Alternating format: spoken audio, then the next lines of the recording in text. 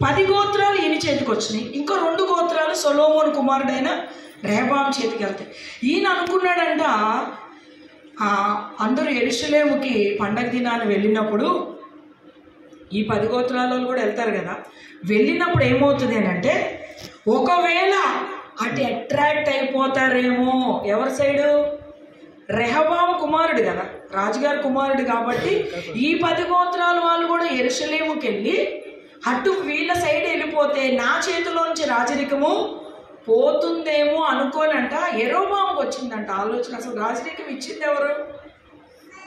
రాజరికం దేవుడే కదండి ఆయన చేతికి ఇచ్చాడు అయితే ఎవరి ద్వారా ఈ విషయం ఎరోబాముకి తెలుస్తుందంటే అయ్యా నువ్వు పది గోత్రాల ప్రజలకు నువ్వు సొలోమోన్ తర్వాత రాజు అవ్వాలి అన్న విషయం అహియా అనే ప్రవక్తే చెప్తాడు. అలెలుయా అలేలుయా సొలోమోను ద్వారా విభజించబడింది ఆయన తరువాత పది గోత్రాల వాళ్ళకి నువ్వు రాజు అవ్వాలి అన్న విషయాన్ని అహియా అనే ప్రవక్త ఎరోబాముకు చెప్తాడు అనమాట అయితే ఈయన రాజు అయినాక ఈయనకు వచ్చిన ఆలోచన ఏంటంటే పన్నెండు గోత్రాల వాళ్ళు ఎరుసలేంకి వెళ్ళి పండగను ఆచరించే టైంలో మళ్ళీ ఈ పది గోత్రాలకి నేను రాజునైనా కూడా వీళ్ళు అక్కడ అట్రాక్ట్ అయిపోయి అందరూ కలిసి ఎరుసలేంలోకి వెళ్ళి మాకు రెహబామే కావాలి అంటే మళ్ళీ నేను వేస్ట్ అయిపోతాను కదా అని ఈయనకు సొంతగా ఒక ఆలోచన వచ్చి బేతేల్లో ఒక బేతేల్లో ఒకటి దాను అనే ప్రాంతంలో ఒకటి ఏం చేస్తాడంటే రెండు బంగారు దూడలు చేపించంట. ఆ రెండు ప్రాంతాల్లో రెండు పెట్టేస్తాడంట. మిమ్మల్ని ఐగుప్తు నుంచి తీసుకొచ్చింది ఇవే. ఈ రెండింటికి మీరు మొక్కాలి. మీరు ఈ ప్రాంతాలకు వెళ్ళి మీరు ఎరుసలేని దాకా మీరు ఏం పోతారు? అంత దూర ప్రయాణం మీరు చేయలేరు కాబట్టి ఈ రెండు ప్రాంతాలకే మీరు వెళ్ళి ఏం చేయాలంటే మీ మొక్కుబళ్ళు మీ పండగలు ఏమైనా ఉంటే ఇక్కడికి వెళ్ళి చేసుకోండి అని ప్రజల్ని విగ్రహారాధన వైపు డైవర్ట్ చేసేస్తాడు. ఎవరు? ఎరోబాము వ్యక్తి. హలోయా అలా డైవర్ట్ అయిపోగానే ఇప్పుడు ఎవరి కోపం వస్తుంది? ఎందుకని? రాజరికం అప్పగించిందే దేవుడు కదా. వెంటనే ఏమవుతుంది అంటే అప్పటికి దేవుడు కొద్ది కాలం చూస్తాడు. చూసినా కూడా దేవుని కోపం ఆ ఇంటి మీద రగులుకుంటుంది. తన కుమారుడు అనారోగ్య పాలవుతాడు. తను చేసేది తప్పు అన్న విషయం ఎరోబాముకి ఏ రోజు తెలియలేదు. కుమారుడు బలహీన పడినప్పుడంట అప్పుడు భార్యని పిలిచి ఇప్పుడు నువ్వు ఎక్కడికి వెళ్ళాలి ఈ కుమారుడి గురించి కనుక్కోవడానికి? అహియా ప్రవక్త దగ్గరికి వెళ్ళాలి. ఎప్పుడు గుర్తొచ్చాడు ఈ ప్రవక్త? కుమారుడు రాజరికం నా చేతిలో నుంచి పోతుందేమో అన్నప్పుడు గుర్తొచ్చుంటే ప్రవక్త గారు కొద్దిగా సలహా ఇచ్చేవాడు కదా. అప్పుడు గుర్తు రాలేదు కానీ ఎప్పుడు గుర్తొచ్చాడంట కుమారుడు బలహీన పడ్డ తర్వాత గుర్తొచ్చి భార్యని పిలిచాడంట. అల్లెలుయా అమ్మా నువ్వేం చేయాలంటే నన్ను రాజుగా దేవుడు చేస్తాడు అని చెప్పిన ప్రవక్త ఒక ఆయన ఉన్నాడు. నువ్వు ఆయన దగ్గరికి వెళ్ళి మన కుమారుడు గురించి నువ్వు అక్కడ విచారణ చేయాలి. అయితే ఎలా వెళ్ళాలంటే నా భార్యగా వెళ్ళకూడదు. నా భార్యగా నువ్వు వెళ్ళకూడదు. ఎలా వెళ్ళాలి? మారువేషం వేసుకొని వెళ్ళాలి. ఇక్కడ ఈ అధ్యాయంలో ఒక విశేషమైన వింత ఏంటంటే భార్య అని రాయబడి ఉంది కానీ నోరు తెరవని భార్య ఈ భార్య. ఒక్క పలుకు ఉండదు ఉత్తరం ఉండదు.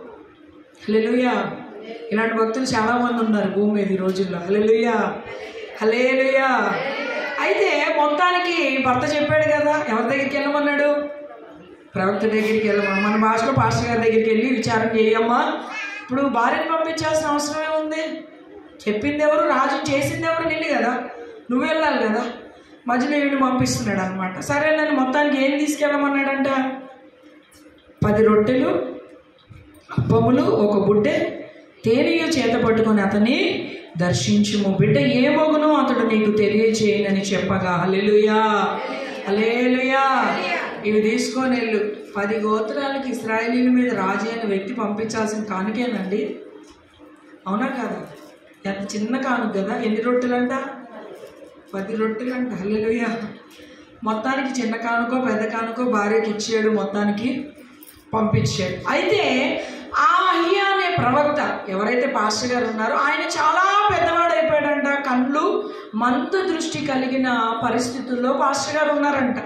లెలుయ చాలామంది అనుకుంటారు పాస్టర్లకి ఏమీ తెలియదునే అనుకుంటారు. మనం చర్చిలో ఎలా ఉంటాం? బయటికి వెళ్ళాక ఎలా ఉంటాం? వాళ్ళకి ఎలా తెలుస్తుంది?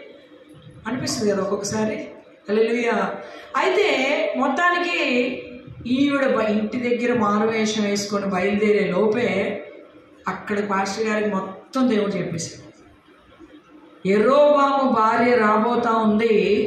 నువ్వేం చెప్పాలి అంటే నేను నీకేం చెప్తానో నువ్వు అది ఆమెకి చెప్పాలి అన్నాడు. హలిలుయా సరే ప్రభు అని చెప్పేసి ఆయన రెడీ అయిపోయాడు. ఈవిడ కూడా ఏమైందంటే చక్కగా అలంకరించుకొని మారు వేషం అంటే కొద్దిగా మేకప్లు ఎక్కువ చేసుకోవాలి కదా మరి. భార్య అని తెలియకూడదు కదా. మరి ఏ వేషం వేసుకుందో మారు వేషం అని పనోళ్ళ వేషం వేసుకుందో లేకపోతే బేదోళ్ళ వేషం వేసుకుందో ఏ వేషం వేసుకుందో మొత్తం వేషం అయితే వేసుకొని బయలుదేరి వెళ్ళిందంట. చూడండి ఆరో వచ్చు అంతలో అహియా ద్వారం లోపలికి వచ్చున ఆమె కాలి చప్పుడు విని ఆమెతో ఇట్లా నేను ఎరోబాము భార్య లోపలికి రమ్ము. నీవు వేషము వేసుకొని వచ్చుట ఎలా? కఠినమైన మాటలు నీకు చెప్పవలనని నాకు ఆజ్ఞ చాలండి. హల్లెలూయా. ఆయనకి కళ్ళే కనపడవు కదా పాస్టర్ గారికి. ఏమంటున్నాడంట? ఆ కాలి చప్పుడు వినగానే ఎవరిని పిలుస్తున్నాడు? ఎరోబాము భార్య లోపలికి రా అనగానే ఈవన్న ఊ ఆ ఏదో ఒకటి అనాలి కదండి. ఇలా అనకే చాలామంది స్త్రీలు సేవకుడికి ఎక్కడ లేని తెప్పలు. ఇక్కడ ఏం వింటారో తెలీదు ఇంటి దగ్గర ఏం చేస్తారో భక్తి తెలీదు. ఇక్కడ నోరింపులు ఇంటి దగ్గర? ఎక్కడ కార్యాలు అక్కడే? ప్రాకారాల్లాగా నిలబడిపోయి ఉంటాయి. హలెలుయా హలేలుయా మొత్తానికి వెళ్ళింది అక్కడేమో వేషం వేసుకొని వెళ్ళమంటే అక్కడేమో వేషం వేసుకొని వచ్చింది. అక్కడేం మాట్లాడి నన్ను ఎందుకు పంపిస్తున్నావయ్యా? ఏదైనా సమస్య ఉంటే భాష గారి దగ్గర నువ్వు వెళ్ళాలి నువ్వు మాట్లాడుకో నిన్ను రాజం చేశాడు కదా. నిన్ను అధికారం చేశాడు కదా. ఒకప్పుడు మన దాసుల కుటుంబం కదా. ఇప్పుడు ఇద్దరం కలిసి వెళ్దాం రా. సమస్య ఉంటే భాష గారి దగ్గర చెప్పుకుందాం తెలుసుకుందాం అని చెప్పి అక్కడ నోరిప్పలేదు. అక్కడ ఏమో చెప్పినట్టుగా అక్కడ వచ్చేసి ఇక్కడికి వచ్చేసిందంట. లోపలికి రాకముందే దైవజనుడు ఏమంటున్నాడంట ఎరోబాము భార్య లోపలికి రమ్ము. నీవు వేషము వేసుకొని వచ్చుటయ్యేలా హల్లెలూయా. అక్కడికి ఆగిపోలేదు పాస్టర్ గారు. ఎమ్మటే వేషం కూడా గుర్తుపట్టేశాడు ఎందుకు వేషం వేసుకొని వచ్చినప్పుడు? ఇక్కడ కూడా ఏం ఆన్సర్ లేదు. తల్లి అలాగే మౌనంగా నిలబడి ఇంకా మొత్తం పాస్టర్ గారు వివరించి చెప్తా ఉన్నారు ఏంటంటే ఎరోబాము ఏమేమి చేశాడో ఏమి చేయకూడదో దేవుడు ఏం అప్పగించాడో అప్పగించిన దాంట్లో నుంచి నీ భర్త తొలగిపోవడం వలన నీకు ఎలాంటి నష్టం కలిగింది అంటే నువ్వు మరలా నీ ప్రాంతంలో నువ్వు అడుగు పెట్టేటప్పటికల్లా నీ కుమారుడు చనిపోతాడు అని చెప్తాడు పాస్టర్ గారు. ఇదే మాట నువ్వు తీసుకొని వెళ్ళి ఎవరికి చెప్పాలి? నీ భర్తకి చెప్పాలి. నువ్వు మరలా నీ తిరిగి నీ ప్రాంతంలో అడుగుపెట్టేటప్పటికి నీ కుమారుడు చనిపోతాడు. ఇంకొకటి పెంటని పారవేసినట్లుగా ఎరోబాము వంశీకులందరినీ దేవుడు పారవేయబోతున్నాడు. హల్లెలూయా. ఎందుకు అంత కోపము ఎరోబాము మీద దేవుడికి వచ్చింది అంటే విగ్రహారాధన అనేది ఈ వ్యక్తి నుంచి మరలా ఆరంభించబడిందండి ఇస్రాయలీలో నుంచి. తను పాపము చేసి ఇస్రాయలీలు కూడా పాపము చేయడానికి ఎవరు కారణమయ్యారు? ఎవరు కారణమయ్యారండి? ఎరోబాము కారణమయ్యాడంట హల్లెలూయా. హల్లెలూయా. అయితే అందుకని దేవుడికి ఎంత కోపం వచ్చిందంటే ఇంకా ఆ వంశంలో ఎవరు మగ వ్యక్తి అనేదే ఉండకూడదు అన్నంత కోపం దేవుడికి వచ్చేసిందంట. ఈ విషయాలన్నీ ఇప్పుడు ఎవరు చెప్తున్నారు? మాస్టర్ గారు ఎవరు చెప్తున్నారు? భార్యకి చెప్తున్నప్పుడు భార్య ఏమనాలి? ఏమనాలండి? ఎవరి గురించి వచ్చింది? పక్కింటి వాళ్ళ సమాచారం కోసం వచ్చిందా? ఎవరు ఎవరి సమాచారం కొరకు వచ్చింది?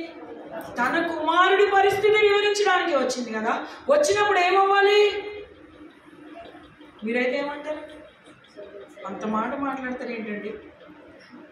ఏదో ఒకటి అంటారు కదా. అసలు మేము ఇంత భక్తి ఇట్లాంటి వాళ్ళు అట్లాంటి వాళ్ళు మీరు అంత మాట ఈజీగా అంటే మా గుండె పగిలిపోదా? దీవెన కోసం ఆశీర్వాదం కోసం వస్తున్నాం కానీ ఇట్లాంటి మాటలు మాట్లాడతారేంటి ఏదో మా ఆయన తెలియ చేసాడు అనుకోండి. ఒకవేళ మాకు వంశమే లేకుండా చేస్తారు. అంటే రియాక్షన్ అనేది ఉండాలి కదా. ఉండకుండా ఉంటామా? ఖచ్చితంగా ఉంటాం. అలేలుయా హలేలుయా అయితే ఈ స్త్రీ ఏం లేదు. రియాక్షన్ లేదు. యాక్షన్ లేదు. అలేలుయా మొత్తానికి ఆయన అన్న మాటలు అన్నీ విన్నదంట వినేసి ఏం చేసింది అంటే పదిహేడవ వచ్చు పదకొండు చదవండి ఫస్ట్ పట్టణమందు ఎరోబాము సంబంధులలో మరణమగు వరకు మగ మరణమగు వారికి కుక్కలు తినును. బయట భూమిలో మరణమగు వారిని ఆకాశ పక్షులు తినును. యెహోవా మాట ఇచ్చి ఉన్నాడు. కాబట్టి నీవు లేచి నీ ఇంటికి పొమ్ము. నీ పాదములు పట్టంలో ప్రవేశించినప్పుడే నీ బిడ్డ చచ్చిపోవును. చాలండి పదిహేడు కూడా. అప్పుడు ఎరోబాము భార్య లేచి వెళ్ళిపోయి తిర్సా పట్టణమునకు వచ్చెను. ఆమె లోగిట ద్వారపు గడప యొద్దనే గడప యొద్దకు రాగానే ఆ చిన్నవాడు చచ్చిపోయాను చాలండి. ఏమన్నా చెప్పిందా? చెప్పిందా? అందరు ఇక్కడే ఉన్నారు రైట్కి వెళ్ళారు. ఎవరన్నా మాట్లాడిందా? మనం మాట్లాడుకున్నాం ఎరోబాం భార్య అంట ఎరోబాం భార్య అంటే పాస్టర్ గారు అంట ఎరోబాం అంట ఆయన ఇదంట అదంట అని చరిత్ర అంతా మనం వెనక్కి ముందుకి తిరిగేసుకుంటున్నాం కానీ ఆ స్త్రీ నోట్లో నుంచి ఒక్క పలుకు కూడా బయటికి రావడం లేదంట. హలెలుయ్యా వెంటనే పాస్టర్ గారు అని అన్నారు. అన్నప్పుడన్నా కొద్దిగా ఏదో ఒకటి చెల్లించి ఇలా కాదండి అలా కాదండి నేను ఏదో ఒకటి చెప్పాలా? చెప్పకుండా మళ్ళీ ఏం చేసిందంట? నువ్వు ఇంటికి తిరిగి వెళ్ళంటే? భర్త ఏం చెప్పాడు? భర్త అసలు ఎందుకు పంపించాడు? ఇంత మారువేషం వేయించి మరి ఎందుకు పంపించాడు? కుమారుడి గురించి ఏదైనా తీసుకురా అంటే ఏం తీసుకెళ్తుంది ఇప్పుడు? చావు సమాచారం తీసుకెళ్తుంది. హల్లెలూయా. ఒక దీవెనకరమైందో ఆశీర్వాదకరమైందో పొరపాటు ఏంటో పొరపాటు సరి చేసుకునే సలహాలో ఆలోచన తీసుకెళ్ళట్లా. ఏ సమాచారం తీసుకుని వెళ్తుంది? ఇంకొకటి మన సమాచారం తీసుకెళ్ళక ముందే వాడు చచ్చిపోతాడని చెప్పాడు పాస్టర్ ఇంకేం తీసుకెళ్ళి వాళ్ళ ఆయనకి చెప్పాల్సిన అవసరం ఏమి అక్కడ? ఉందా అండి? లేక ముందు ఏమైంది? ఆల్రెడీ ఇవి అక్కడ పట్టణంలో అడుగు పెట్టక ముందే కుమారుడు ఏమయ్యాడంట? చనిపోయాడు. అలా చనిపోతే చనిపోయాడు కానీ ఇప్పుడు ఈ వాక్యం మాకు ఎందుకు చెప్పారు అన్నట్టున్నారు మీరు. హలెలుయా మేమేం అందరం ఒరిజినల్గానే ఉన్నామండి. ఎవరు మారువేషాలు వేసుకొని మందిరానికి రాలేదండి. హలెలుయా బైబిల్లో రాయబడిన ప్రతి మాట కూడా మనకి ఒక ఆత్మీయ అర్థాన్ని ఇచ్చేటట్టుగా పరిశుద్ధ ఆత్మదేవుడు మన కొరకు రాయించి ఉంచాడు. Hallelujah hallelujah. ఈ విష ఈ స్త్రీలో నుంచి మనం నేర్చుకోవాల్సిన విషయాలు ఏంటిది అని అంటే అలేలుయా ఏం వేసుకొని వచ్చిందంట? చెప్పండి. మారు వేషము అనేదాన్ని ఇప్పుడు మనం ఆత్మీయ కోణంలో ఆలోచన చేస్తే ఇప్పుడున్న విశ్వాస సంగతి కొంతమందిని మన గురించి మనం చెప్పుకుంటే ఇక్కడ వాక్యం వింటారు ఇంటికి వెళ్ళిపోతారు. అక్కడ చెప్పినవి వింటారు మళ్ళీ మందిరానికి వస్తారు. ఎక్కడ నోరు తెలవరు ఇంటి దగ్గర వాళ్ళు అంటారు నువ్వు ఏదో నమ్ముకున్నావు కాబట్టి వెళ్తే వెళ్ళు ఇనేసి ఏదో కాసేపు ప్రార్థన చేసుకుని ఇంటికి రా. మళ్ళీ అక్కడ ఎన్ని అన్ని నువ్వు వచ్చి ఇక్కడ చెప్పావంటే కనుక మర్యాదగా ఉండదు. హల్లెలూయా. అనగానే ఏం చేస్తారు వీళ్ళు? ఎరుపం భార్యలాగానే. ఓకే రైట్ నువ్వు అలాగే అన్నావు కాబట్టి నేను అలాగే ఉంటానంట. ఇక్కడికి వచ్చిన తర్వాత ఇక్కడ సేవకులు అడుగుతారు అమ్మ ఇంటి పరిస్థితి ఏంటి? భర్త పరిస్థితి ఏంటి? పిల్లల పరిస్థితి అంటే ఏంటోనండి ఇంకా వాళ్ళది వాళ్ళదే నాది. ఏంటి? వాళ్ళ పరిస్థితి వాళ్ళదే మాదేదో? మాదే హల్లెలూయా. అంటే ఈ భక్తి ఏ భక్తి? ఎరోబా భార్య భక్తి ఏ భక్తి అంటే చల్లం లేని భక్తి. మనం ఈరోజు ఆరాధిస్తున్న దేవుడు బలము కలిగిన దేవుడు శక్తి కలిగిన దేవుడు మనం చేసే ప్రతి ప్రార్థనకి మనకి జవాబుని ఇచ్చే దేవుడు కదా పరిస్థితిని మార్చే దేవుడు కదా. పౌలు గారి కల్తీ సంగతి ఒక మాట గడిచిన కాలం మనం జీవించింది చాలు ఇంకా. ఇక నుంచి మనం ఎలా ఉండాలి? మన పరిస్థితులన్నీ మార్చుకోవాలి మళ్ళీ వెనక్కి తిరిగి మనం చూడకూడదు. హల్లెలూయా. అంటే అప్పుడు ఎలా భక్తి చేసామో అప్పుడు ఎలా జీవించామో వాటికి ఏమైనా వచ్చిందో రాలేదో కానీ ఇప్పుడు చేసే ప్రతి దానికి దేవుడు ఏం చేస్తాడంటే మనకి ఖచ్చితంగా ప్రతిఫలం ఇస్తాడు కదా. భక్తి అంటే ఏంటి చెప్పండి? భక్తి ఏం తీసుకొని వస్తుంది? ప్రభావాన్ని తీసుకొని రావాలి కదా. ఆయన ప్రభావం కలిగిన దేవుడు కదా. దావీదు ఏమంటే నా బలమా అంటాడు. అంటే ఎవరు దావీదు దేవుడు బలమా? అంతే కదా దాని అర్థం. ఈరోజు మన బలం ఏంటి? మన బలం ఎవరు? ఎందుకు సహవాసంగా కూడుకున్నాం? ఎందుకు వస్తున్నాం? ఏదో వచ్చిపోవడానికి వచ్చిపోవడానికి వచ్చిపోవడానికి వచ్చిపోతే సేమ్ ఇలాగే ఉంటుంది. ఏమి జరగనే జరగదు. జరుగుతుందా? జరగదండి. అంటే ఎట్లుంటుందంటే ఏదో ఒక వేషధారణ లాగానే వేషం వేసుకొని వచ్చినట్టుగానే విన్నది ఏం చేయాలి? ఇక్కడ మన మందిరంలో విని వెళ్తున్న దాన్ని ఏం చేయాలి? ఆచరణలో పెట్టాలి. ఇప్పుడు దైవచేయుడైన అయ్యా ప్రవక్త అన్నాడు కదా అనగానే ఈ స్త్రీ ఏమైనా అయ్యా అలా మాట్లాడద్దు మీరు దయచేసి. ఒకవేళ నా భర్త తప్పే చేసాడేమో కానీ మీరు ఏం చేయాలి? దయతో క్షమించండి. అయ్యా కృపలు ఇవ్వండి. దేవుడిని అడగండి మా పక్షాన అని ఆ స్త్రీ ఏమవ్వాలి? సేవకులు పాదాల దగ్గర పడాలి కదా. అవునా కదా? మనకుంది కదా అవకాశం ఉంది కదా. తీసుకున్నాడు కాబట్టి ఆయన్ని బట్టి కొన్ని మమ్మల్ని క్షమించండి నా కుమారుని మీరు ఏం చేయాలి? బాగు చేయాలని అడగాలి కదా.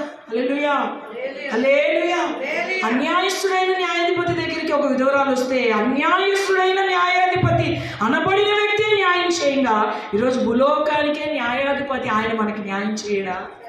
ఖచ్చితంగా చేస్తాడు. హల్లెలూయా.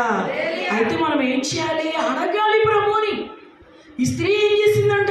కుమారుడు గురించి సమాచారం తీసుకురామ్మని వెళ్తే అక్కడ భర్త దగ్గర నోరు ఇప్పలేదు కనీసం దైవజనుడి దగ్గరైనా నోరు ఇప్పి సమస్య చెప్పుకునే అవకాశం ఉంది కదా.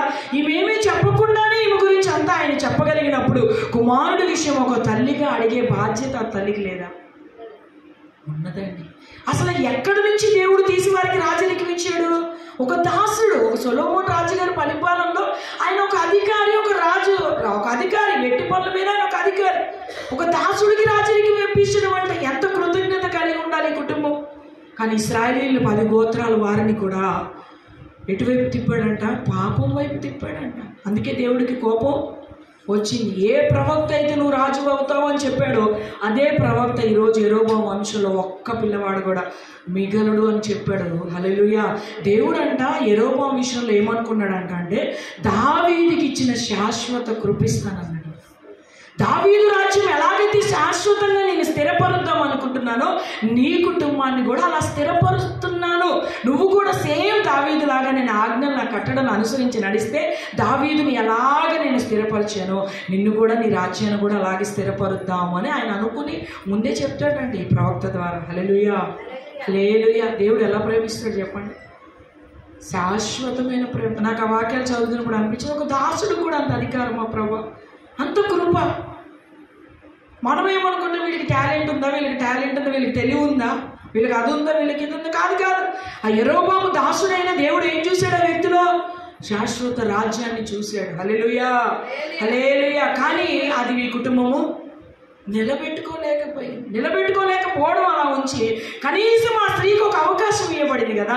దైవచేంటి దగ్గరికి డైరెక్ట్గా వెళ్ళి క్షమాపణ అడుక్కునే ఒక అవకాశం ఇవ్వబడినప్పుడైనా వచ్చి సమస్య అంతా చెప్పుకొని కనీసం ఒక తల్లిగా ఒక భార్యగా ఒక విశ్వాసిగా తను అడిగే అవకాశం ఉన్నా కూడా ఒక్క మాట కూడా మాట్లాడలేదండి హలేలుయ హలేలుయ చాలామంది మందిరానికి వస్తారు. వాక్యం వింటారు వెళ్ళిపోతారు. ఏం విన్నారని రెండు రోజుల తర్వాత అనేది ఏముండదు మైండ్లో. ఎందుకని? వెళ్ళారంటే అటెండెన్స్ కోసం. దేనికోసం? అటెండెన్స్ కోసం వెళ్తే టెన్త్ క్లాస్లో ఏమైపోతారు? దొరికిపోతారు. నైన్త్ వరకు ఎట్లా గొట్టలు నెట్టుకొచ్చేయచ్చు? టెన్త్ క్లాస్లో? వెనక నుంచి ఎవరు నెట్టినా నీకు రాయడమే రాకపోతే ఇంకేం రాస్తావు నువ్వు? కనీసం పుస్తకాలు ఇచ్చి రాసుకోమన్నా? ఎప్పుడైనా ఇంటే కదా మనం రాస్తే కదా? హల్లెలూయా! అంటే ఏదో బలవంతంగా నెట్టుకొని రావడం కాదు భక్తి అంటే నామకార్థంగా మొక్కుబడిగా వచ్చిపోవడం కాదు కదండి. దేవుడి మాట జీవము కలిగిన మాట ఈ మాటలు వినడానికి దేవుని సన్నిధికి మనం వస్తున్నప్పుడు ఈ మాటలు మూటగా మనం తీసుకొని వెళ్ళాలంటే ఎక్కడ తీసుకొని వెళ్ళాలి? ఇవి మన బ్రతుకులో అన్వయించుకోవడానికి తీసుకొని వెళ్ళాలి. విన్న దానిని బట్టి సరి చేసుకోవాలి ఎక్కడ మిస్టేక్ అవుతుందో ఎక్కడ సరి చేసుకోవాలో అని ఆ జీవం కలిగిన మాటను మన హృదయంలో పెట్టుకొని వాటిని మన ఆచరణలో కనుక మనం ఇంప్లిమెంట్ చేస్తే ఖచ్చితంగా దేవుడి కృపను మనం పొందుకుంటాము. హలెలుయా హలేలుయా మొత్తానికి అక్కడ విషయాలు అక్కడ వినేసింది. ఇక్కడ విషయాలు కూడా వినేసింది. ఏం సంపాదించుకుంది జీవితంలో? ఏమన్నా ఉందా ఏముంది? ఆల్రెడీ అక్కడ దేవుడు ఏమన్నాడు? నీ కొడుకున్నాడు ఇరోమామ వంశంలో పదకొండవ వచ్చిన పట్టణమందు ఎరోబాము సంబంధులలో మరణమగు వారికి వారిని కుక్కలు తినును. బయట భూము భూమిలో మరణమగు వారిని ఆకాశ పక్షులు తినును. యెహోవా మాట ఇచ్చి ఉన్నాడు. చాలండి. ఎవరు ఉన్నారంట భర్త కూడా ఉన్నాడు భర్త ఉండడు. నెక్స్ట్ కుమారుడు ఉండరు. మళ్ళీ ఇస్రాయేలీల్లో ఈయనకి సంబంధించిన వారు ఎవరు? ఉండరు అని భయంకరంగా ఉంటుంది. ఆ పది పదకొండు వచనాలు తర్వాత పై వచనాలు మనం చూస్తే. హలెలుయా హలేలుయా మనం అనుకుంటాం "ఆ, అంతే కావాలండి. ఏమైనా చెప్తే విన్నారా? ఎంత చెప్పామండి? చెప్పినా కూడా వినలేదు కదండి. హల్లెలూయా. ఎవరి గురించి? ఇంట్లో వాళ్ళ గురించి రక్షణ లేని వాళ్ళ గురించి. మంచిగా అయింది. ఇప్పుడు ఖాళీ అడిగిందో చేయలేదు మంచిగా అయింది. ఇప్పుడు నేను చెప్తే ఎన్ని మందిరానికి వచ్చావా? వినలేదు కాబట్టి నీకేమైంది? నీకు ఇలాగే అవ్వాలి. అంటే జీవితంలో రారాలి మందిరానికి. అంటే ఏదో వ్యతిరేకంగా నడుస్తున్నట్టుంది. ఏం చెప్తున్నారో అసలు చర్చిల్లా. హలేలుయ్యా హలేలుయ్యా ఏది అడగాలంట? ప్రభు సన్నిధికి వెళ్ళినప్పుడు ఏం అడగాలి చెప్పండి? ఏం అడగాలి? కృప అడగాలి. ప్రభా నా పరిస్థితి ఇది నా కుటుంబ పరిస్థితి ఇది ఒక్క మాట కనీసం ఆ స్త్రీ అడుగుంటే ఒకవేళ ఎరోబామికి ఆ కృప దొరకకపోయినా ఆ కుమారుడి నుంచి అయిన కృప దొరుకుండేదే లేదా? ఖచ్చితంగా అంటే ఆ సంతతి తిరిగి మళ్ళీ రీజనరేట్ అవ్వడానికి దేవుడు కృపనిచ్చేవాడు కదా. కనీసం నోరు తెరిచి అడగడానికి కూడా ఆ మనిషి ఇష్టపడలేదు. అసలు ఎందుకు వెళ్ళిందో ఎందుకు వచ్చిందో. తెలుసా అండి? తెలియదు హలోయా అలానే ఆ వాక్యం అక్కడ పెట్టండి. సమూహలు మొదటి గ్రంథం ఇరవై ఐదవ అధ్యాయం.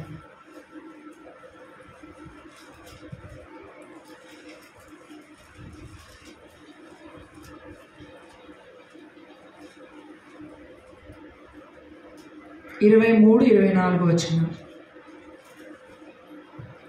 అబిగయిలు దావీదుకు దావీదును కనుకొని గార్ధబాము మీద నుండి త్వరగా దిగి దావీదునకు సాష్టాంగా నమస్కారం చేసి అతని పాదములు పట్టుకొని ఇట్లా నేను నా ఏలినవాడ ఈ దోషము నాదని ఎంచుము. నీ దాసురాలు నాయన నన్ను మాటలాడనిమ్ము. నీ దాసురాలనైనా నేను చెప్పు మాటలను ఆలకించు. చాలండి. లేలు హల్లెలూయా గురించి అందరికీ తెలుసు కదండి? తెలిసిన చేయొద్దండి? ఏం తెలుసు?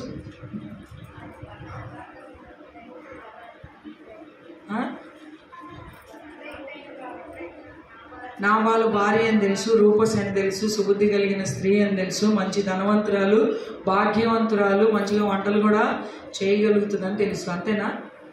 అల్లెలుయా నాబాలు అనే వ్యక్తి దావీది విషయంలో తప్పు చేసినప్పుడు దావీదుని ఎదుర్కొని వెళ్ళి ఏం చేసిందంటే సాష్టాంగ పడి ఎవరికి? దావీది గారు పాస్టర్ గారా? ఎవరు? రాజ్ హల్లెలూయా. అయితే ఈవిడికి రాజుగా ఇంకా పరిచయం ఉందో లేదో తెలియదు కానీ అమ్మ మన గొర్రెలు అరణ్యంలో కాయపడతా ఉన్నప్పుడు దావీదు తన సమూహం అంతా కూడా ఒక్క కీడు కూడా అపాయం కూడా మన గొర్రెలకి జరగకుండా వాళ్ళు ఎంతో ప్రొటెక్షన్ ఇచ్చారు మనకి. కాబట్టి వాళ్ళకి మనం రుణస్థులమే ఏదో ఒకటి మనం చెయ్యాలి. కానీ దుష్టుడైన ఈ నాబాలు మన యజమాను పనికిమాలు వాడు కాబట్టి వాళ్ళు వస్తే వాళ్ళ పనివాళ్ళని తిరిగి పంపించేశాడు. ఈ సమయంలో నువ్వే ఏదో ఒకటి చెయ్యాలి అనగానే వెంటనే ఏం చేసిందంట? ఎంత తీసుకొని వెళ్ళిందో చూడండి అక్కడ. పద్దెనిమిదో వచ్చి అందుకు అబిగేయులు నాబాలుతో ఏమీ చెప్పక త్వరపడి రెండు వందల రొట్టెలను రెండు ద్రా ద్రాక్ష రసపు తిత్తులను వండిన ఐదు గొర్రెల మాంసమును ఐదు మానికల వేచిన ధాన్యమును మారు ద్రాక్ష గెల్లలను రెండు వందల అంజూరపు ఆడ ఆడలను గార్ధబాముల మీద వేయించి చాలండి. హల్లెలూయా. లెక్క పెట్టుకోవాలి రాసుకోవాలి మనం. ఎంత అయిందో ఈ కానుక. ఎంతమంది ఉన్నారంటే దావిది గారితో ఆరు వందల మంది ఉంటారు. అందుకని ఇంత మొత్తం రెడీ చేసుకొని ఆయనని తీసుకెళ్ళమన్నాడు? భద్రంగా? పది రొట్టెలు తీసుకెళ్ళి చాలులే. పెద్ద ఆయన ఏం తింటాడు? నువ్వు నేను నిన్నంత తింటడా ఏంటి? హల్లెలూయా. అంటే వాళ్ళ ఆలోచన అంతే కదా. అలాగే బాగుంది ఏం తీసుకెళ్తాం పాస్టర్ వాళ్ళకి మనం? సైతాన్ని ఎంత ఉంటుంది ఇలాంటి బీజాలన్నీ. ఒక గురుగు వేసి వెళ్ళిపోతూ ఉంటుంది. మంచి విత్తనాలు మధ్యలోనే ఒక గురువు పడితే ఏమవుతుంది చెప్పండి. హల్లెలూయా. ఏమవుతుందంటే మారువేషం వేసుకున్న భక్తిలాగా అయిపోతుంది ఈ స్త్రీ ఏం తీసుకెళ్ళిందంటే భర్తతోటి ఏమీ చెప్పలేదు డాబాతను ఎందుకంటే సార్ బాగా బిజీగా ఉన్నాడు. మంచి విందు జరుగుతుంది. విందులో ఏముంటుంది? మంచి మద్యం సేవించేసాడు అసలు ఇప్పుడు చెప్తే ఏమి ఇదే మూమెంట్లో కూడా లేడు. వెంటనే నేనే ఏదో ఒక ఛార్జ్ రాని అసలు వీడితో పండైపోతున్నాను దావిది ఒక్క దెబ్బకి చంపేసి వెళ్ళిపోతే ప్రాణం ఆగి ఉంటుంది. అనుకుందండి అనుకోలేదండి. హల్లెలూయా. వెంటనే తను ఇంత సామాగ్రిని తీసుకొని ఇంత కానుక తీసుకొని దావీదు దగ్గరికి వెళ్ళి అంట సాష్టాంగ పడిందంట సాష్టాంగపడి సాష్టాంగ పడి వెంటనే ఏమంటుందంటండి? దావీదు ఎలా వస్తున్నాడంటే సేమ్ దేవుడు ఎరోబాం విషయంలో ఏది మాట్లాడాడో దావీది కూడా అంట నా బాలకు సంబంధించిన వాడు ఒక్కడు కూడా ఉండడానికి వీలు లేదు. అలాగే అదే ఆలోచనతో దావీది కూడా వస్తున్నాడు. ఈ విషయం ఇంకా ఆవిడకి తెలియదు ఈమె దారిలో ఉంది ఆయన దారిలో ఉన్నారు. మధ్యలో వీళ్ళు ఒక లోయలో కలుస్తారు. ఎదురుపడి అంటే సాష్టాంగపడి ఏమని అంటుందంటే నాకు ఒక బాగా నచ్చిన మాట ఇరవై నాలుగో వచనంలో నా ఎన్నిన వాడ ఈ దోషము నాదని ఎంచుము. అలెలుయా నన్ను బాగా ఇబ్బంది పెడుతున్నాడు అయ్యా నువ్వు ఏదో ఒకటి చేసి రాత్రికి వీడి నుంచి నాకు ప్రాణ విడుదల కలగ చేయండి అని అడగలేదు దావీదిని. ఏమన్నదంట? ఈ దోషము నాదని ఎంచయ్యా నాదని ఎంచి నా భర్తని మీరు ఇది నా భర్త దోషం కాదు ఇది. నా దోషం అని మీరు ఎంచాలని ఇరవై నాలుగు ఇరవై మూడు నుంచి మనము చూస్తే దగ్గర దగ్గర ముప్పై ఒకటి వరకు తను మాట్లాడుతుంది. నా ఏలిన వాడ అనే మాట దగ్గర దగ్గర పన్నెండు పదమూడు సార్లు ఉంది అందులో.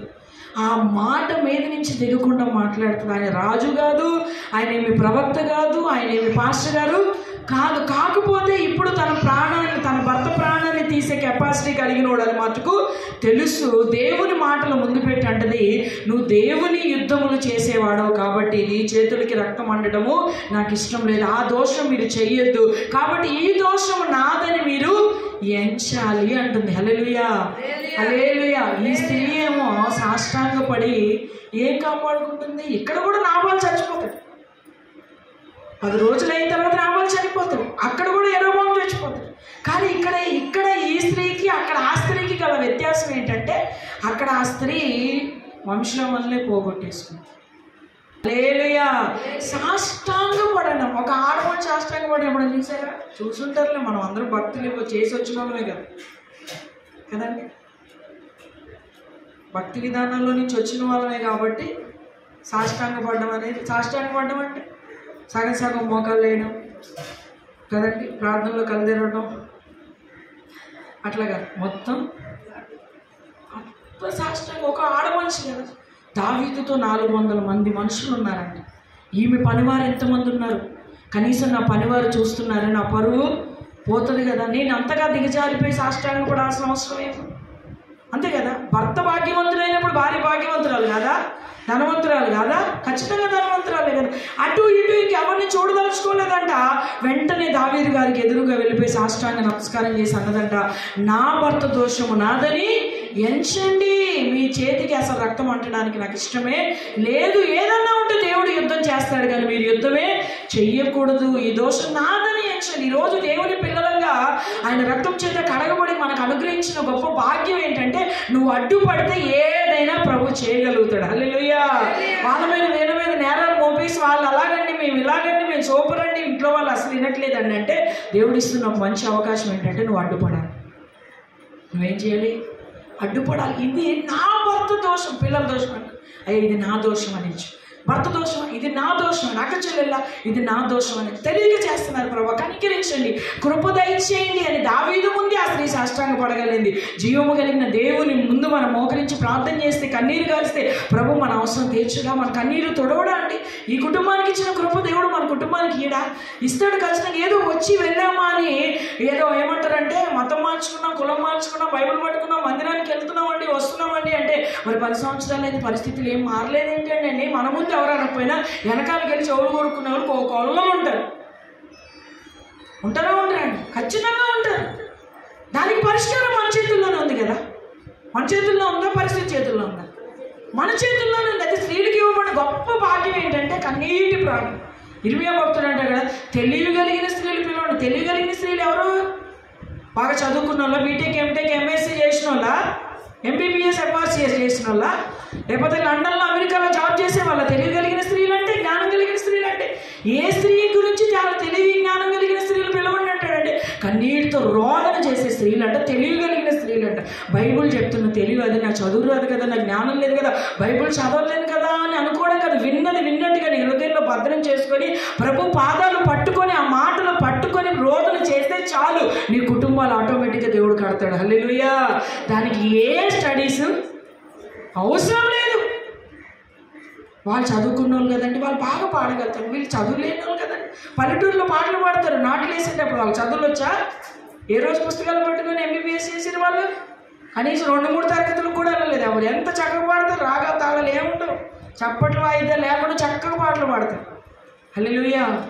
ఎలా వస్తుంది? వాళ్ళకి ఇంట్రెస్ట్ వాటి మీద ప్రభువుని జీవగల దేవుని స్థుతించడానికి మనకి ఇంట్రెస్ట్ ఉంటే ఆ మాటలు వినడానికి మనకి ఇంట్రెస్ట్ ఉంటే ఆ మాటలు ఏం చేస్తాయండి? మన జీవితాన్ని ఖచ్చితంగా కడతాయి. హలెలుయా ఎవరు చెప్పారు ఏమికి నువ్వు వెళ్ళి అడ్డుపడితే నీ భర్తను కాపాడుతాను ఎవరని చెప్పారు? ఆటోమేటిక్గా వచ్చేసింది. ఆలోచన. అందుకని సుబుద్ధి కలిగిన స్త్రీ అన్నారు. హల్లెలూయా. అక్కడ ఏం చెప్తే ఇట్ట ఊపేసి ఇక్కడ ఏం చెప్తే ఇట్ట మా ఆయన ఒప్పుకోడు కదండి మరి. మరి మా పిల్లలంటే అండి ఆ- ఇక్కడ చెప్పినాటికేమో ఇక్కడ ఇలా తెలివిగా సమాధానం చెప్తారు.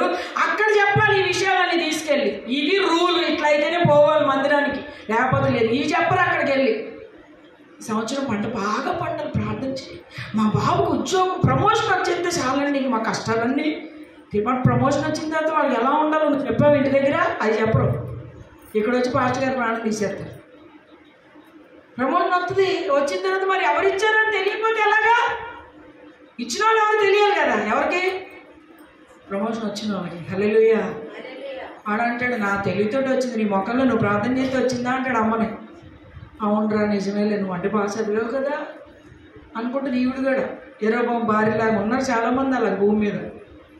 అందుకే పాస్టర్లకి ఇంకా కష్టాలు తప్పట్లేదు. హల్లెలూయా. అందరూ అభిగేయులాగా ఉంటే ప్రతి సంఘం కూడా వర్ధిల్లుతుంది. హల్లెలూయా. అలాంటి అభిగేయులు లేచుదురుగాక. హల్లెలూయా. సుబుద్ధి రూపసి జ్ఞానవంతుడు అని చెప్పాలంటే సాష్టాంగ పడింది భర్తని కాపాడుకుందో లేదో తెలియదు కానీ ఏం చేసిందంటే ఆ రాత్రి పెద్ద యుద్ధం అక్కడ జరగకుండా పది రోజుల తర్వాత నాబాలు చనిపోతాడు. కానీ సంతతిని కాపాడుకుంది. ఎవరిని కాపాడుకుంది? సంతతిని కాపాడుకుంది. ఎవరు చెప్పారు కాపాడుకోమని? ఎవరు చెప్పారు? ఎవరు? చెప్పలేదు కదా.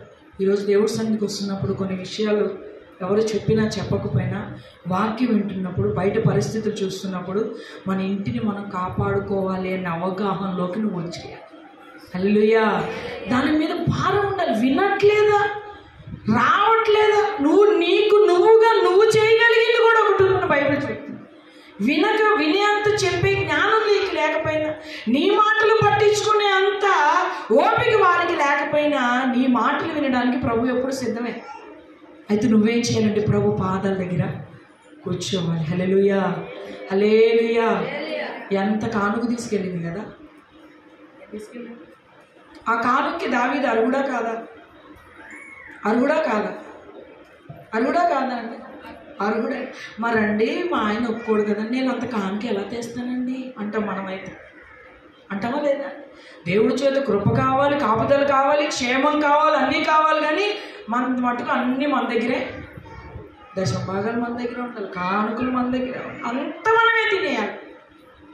రమ్మంటే దేవుని వస్తుందా? వస్తుందా అండి?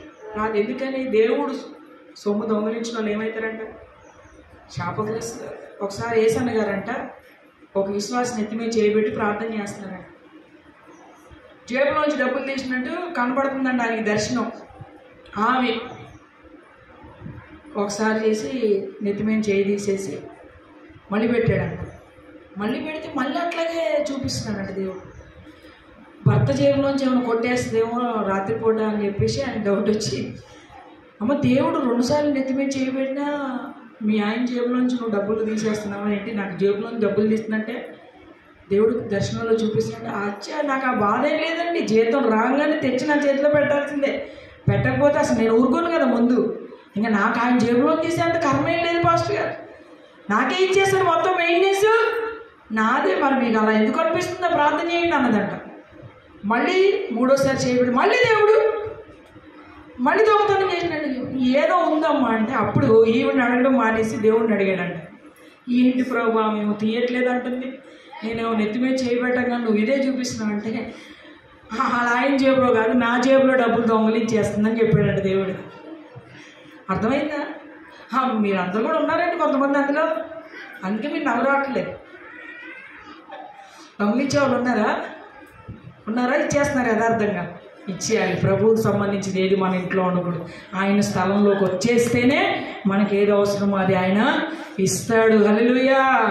పక్కింటోళ్ళు రెండు మన ఇంట్లో. ఏ అలాగినా వాళ్ళకి ఎంత ఖచ్చితంగా ఉంటాం తెలుసా అండి మేము అసలు?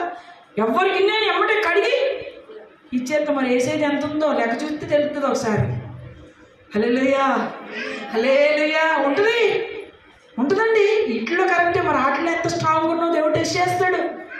నువ్వు ఇచ్చేసేళ్ళు నువ్వు రోషంగా ఇచ్చేళ్ళు పరిస్థితులు అనుకూలం లేకపోయినా పరిస్థితులు ఇక్కడ ఏ మాత్రం అనుకూలం లేవు. సార్ అసలు మామూలుగా లేడు ఫుల్గా ఫిల్ అయిపోయి ఉన్నాడు. ఏం చెప్పి నేనే పరిస్థితుల్లో? లేడు తెల్లారితే కొడతాడో తిడతాడో కూడా తెలియదు భార్యని ఎందుకు అంత కాలుకు తీసుకొని వెళ్ళా? నీ ఇష్టమేనా? నీదేనా? అనడా అండి.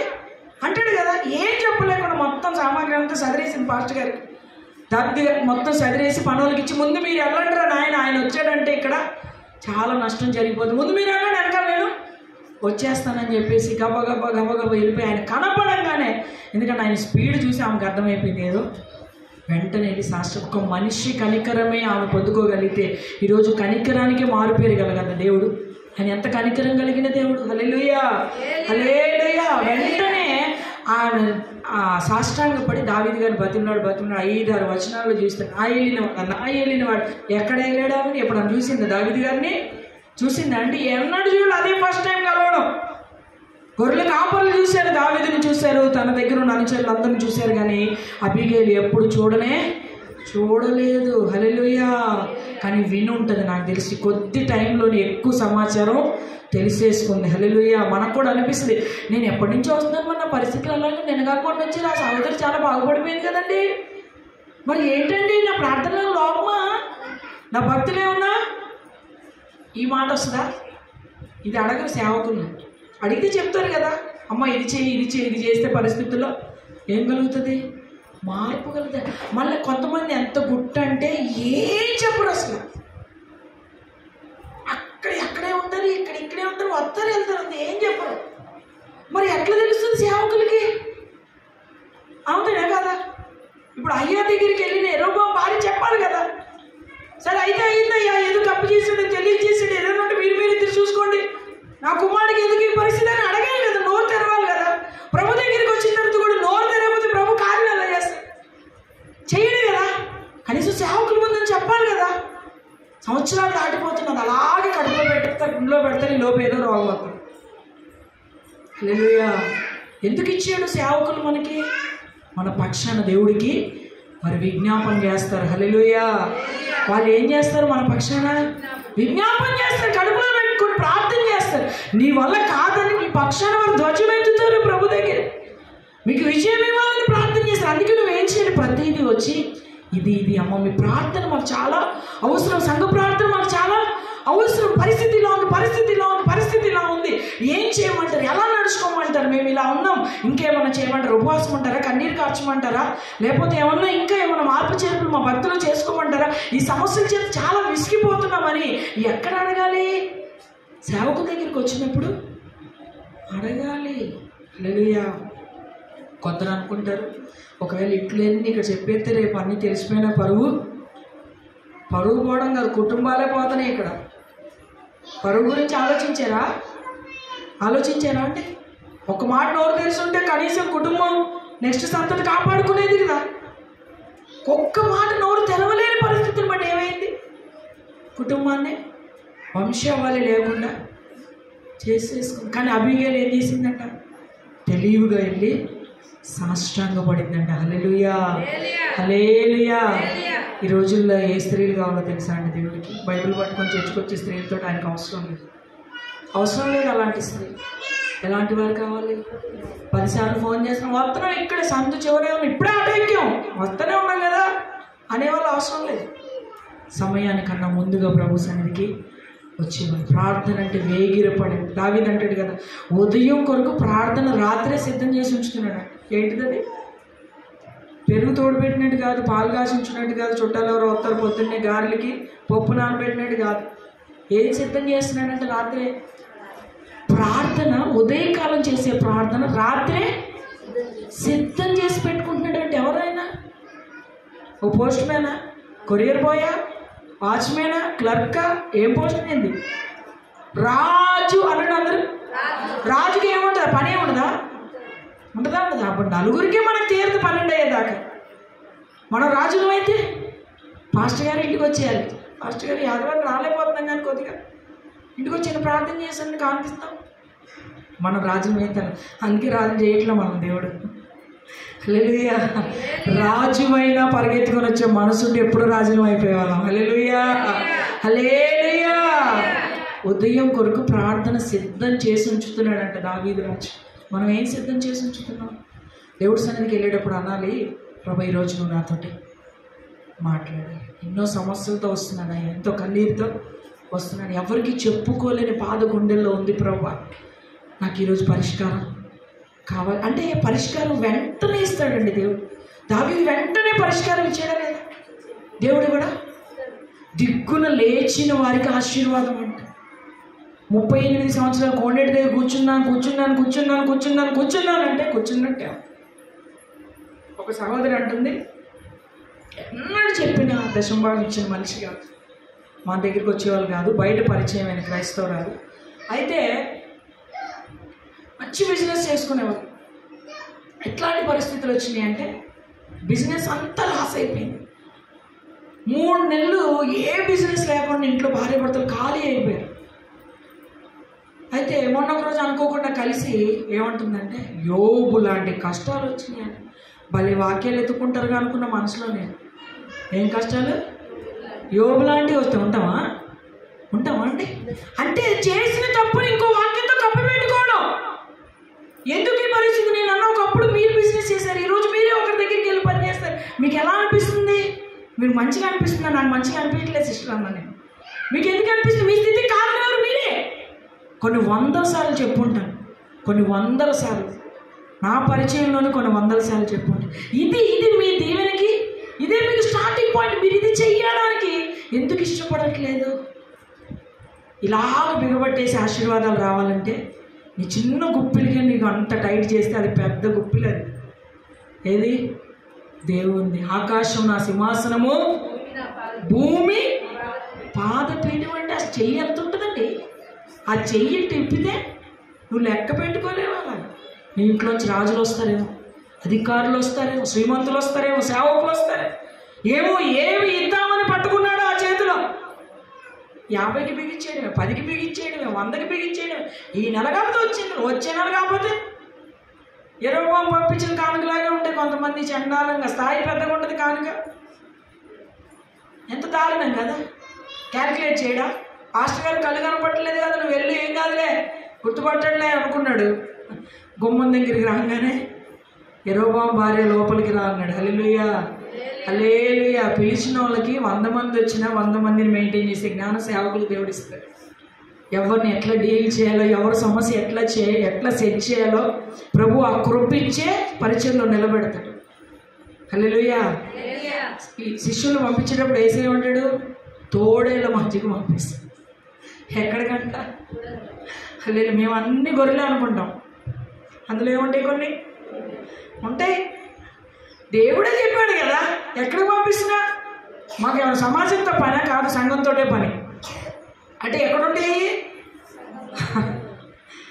కాబట్టి వాటికి సంబంధించిన జ్ఞానం కూడా దేవుడు ఇచ్చే పంపిస్తాడు హలేలుయా హలేలుయా కాబట్టి ఎలా ఉండాలంటే ప్రభు దగ్గర సేవకుల దగ్గర మన కుప్పిగం తెలియకూడదు.